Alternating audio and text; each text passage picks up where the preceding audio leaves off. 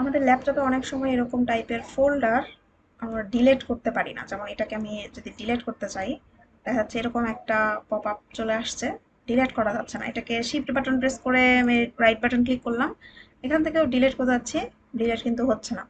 সেই ক্ষেত্রে আমরা কি করতে পারি, এরকম ডিলেট হবে না ডিলেট হচ্ছে না এমন টাইপের ফোল্ডার যদি আমরা ডিলেট করতে চাই, আমাদের চলে যেতে হবে, চলে যেতে হবে সার্চ বক্স থেকে টাইপ করব সিএমডি কমান্ড প্রম্পট এটাতে ক্লিক করে দিলাম এবং এই যে পপ আপ বক্সটা আসলো, এই পপ আপ বক্সটাতে প্রথমে আমাদের এখানে ইন্ডিকেট করে দিতে হবে যে আমরা কোথাকার জিনিস আসলে টার্গেট করছি। তো আমি এই ফাইলটা কোথায় আছে? আমার ডেস্কটপে আছে। ফাইলটার লোকেশন আমরা নিতে পারি এই মাই কম্পিউটার থেকে, এই যে সি এর মধ্যে থাকে। এটার লোকেশনটা হচ্ছে সি এ। ইউজারে গেলাম ইউজারে গিয়ে এইচপিতে গেলাম। এখানে এই যে ডেস্কটপ দেখা যাচ্ছে ডেস্কটপের মধ্যে আমার দুইটা ফোল্ডার আছে। তার মধ্যে আমি এটা ডিলিট করতে যাচ্ছি। হ্যাঁ এইভাবেও করা যাবে। এটাকে সিলেক্ট করে আমি যদি এইখানে একটা অপশন দেখা যাচ্ছে, এখানে ক্লিক করলেই এই ইউআরএলটা মানে এটার কোথায় আছে, এটা কিন্তু দেখা যাচ্ছে সি ইউজার্স এইচপি ডেস্কটপ এখান থেকেও নিতে পারি। এক নাম্বার আরেকটা সিস্টেম হচ্ছে এই ফাইলটার উপরে রাইট বাটন ক্লিক করে আমরা যদি প্রপার্টিসে যাই, তাহলেও কিন্তু এখানে টাইপ টাইপের নিচে লোকেশন এই লোকেশনটাও কপি করতে পারি। এটাকে কপি করে নিলাম। কপি করে নিয়ে আমি চলে যাচ্ছি কমান্ড প্রম্পট এখানে।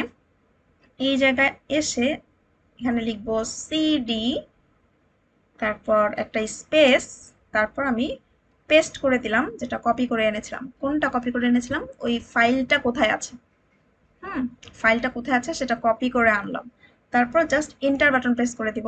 আরেকবার, আরেকটা কিছু লেখার অপশন আসবে। তো এখানে আমরা লিখব DIR space slash X okay, এতটুকু জিনিস লিখেই এন্টার বাটন প্রেস করে দিব এবং এখন আমাদের ডেস্কটপের মধ্যে যা যা জিনিস আছে, যা যা ফোল্ডার আছে সব কিছু দেখা যাবে।